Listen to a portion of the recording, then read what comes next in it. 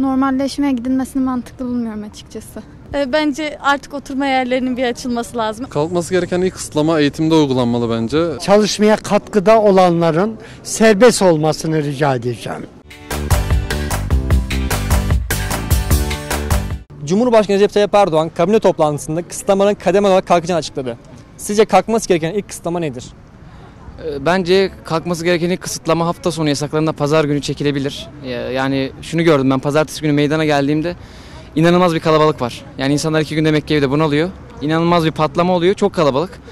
Yani şimdi iki gün evet evdeyiz ama bunun sonrasındaki hafta içi çok kalabalık oluyor. Yani orada ürettiğimiz avantajı burada dezavantaja çevirmiş oluyoruz diye düşünüyorum. Hafta sonu kısıtlamalarında tüm gün olmasa da belki böyle saatler arasında falan ufak değişiklikler yapılabilir. O şekilde düşünüyorum ben. Ya herkesin düşüncesi farklı ama benim düşüncem bilmiyorum yani kısıtlama zaten fazla dışarı çıkan bir insan olmadığım için hepimizin sağlığı içinde yani bilmiyorum ne uygun görülürse o açılsın diyorum. Çünkü fazla böyle şey e, aktif yani yemekler olsun şeyler olsun lokantalar olsun zaten pek kullanan bir insan olmadığım için yani ilk Cumhurbaşkanımız neyin açılmasını istiyorsa ben onun taraftarıyım. Sonuçta hepimizin sağlığı önemli.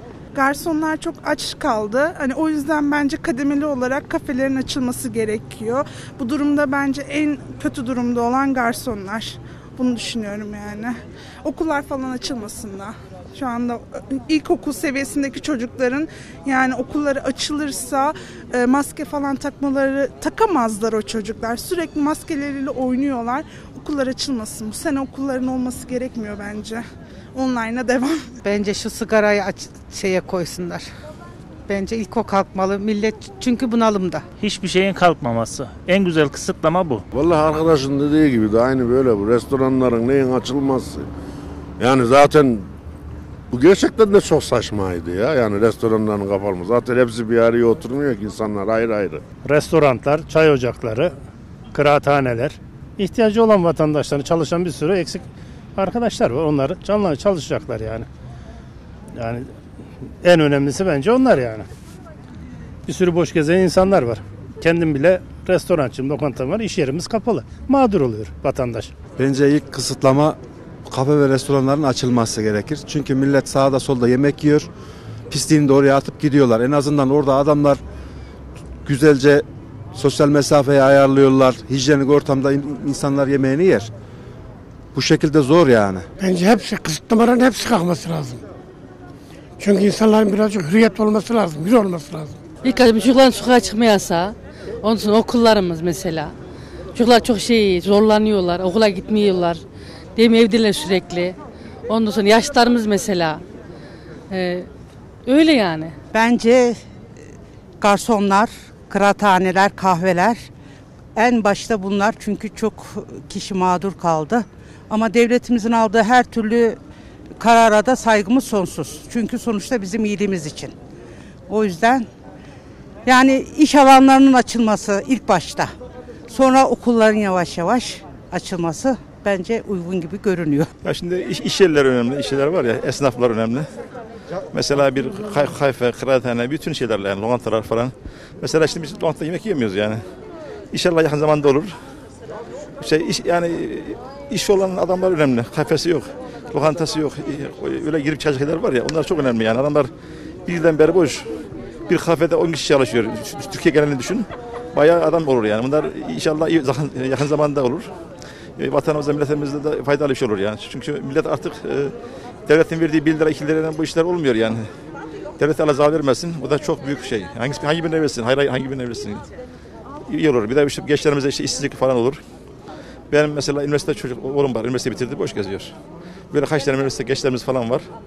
Bu sadece Türkiye değil, dünya genelinde bir işsizlik var yani. Koronadan dolayı.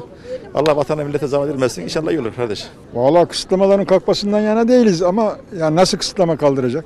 Zaten kısıtlama yok ki ya. Neyi kaldıracak? Bakkallar, efendime lokantaları kapalı, kahveleri kapalı. Başka bir şey yok ki. Cumartesi pazar zaten millet evinde.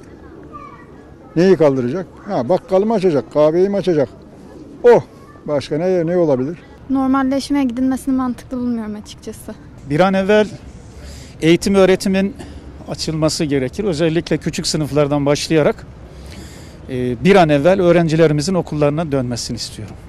Çünkü ev fazla oldu, evde bekleme fazla oldu. Tabii sağlık önceliklidir ama bir an evvel çocuklarımızın okullarına dönmesi. E, Bence artık oturma yerlerinin bir açılması lazım. Öncelikle aslında okullarımızın açılması lazım. Çünkü e, ücretli öğretmen olarak e, otizmli çocuklara ders veriyorum. E, özel eğitim çocuklarımızın okulların açılmasına çok ihtiyacı var. Uzaktan eğitimde çok iyi destek sağlayamıyoruz onlara.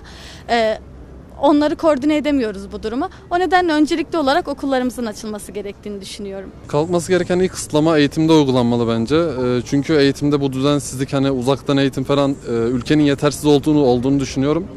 E, Kendi açımdan da düşünüyorum. Kendi açımdan da bu yani olumsuz yönde etkiliyor hem beni hem arkadaşlarımı. Ee, İlk önce eğitimde bir düzenleme, düzenleme yaparlarsa, ekonomik anlamda değil de eğitim anlamında bir düzenleme yaparlarsa daha iyi olur benim için.